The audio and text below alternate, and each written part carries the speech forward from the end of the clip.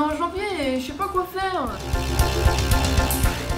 Bah fais comme moi, rentrée décalée, en 4 mois la première année c'est validé. Rentrer en mars, ce serait de la merde.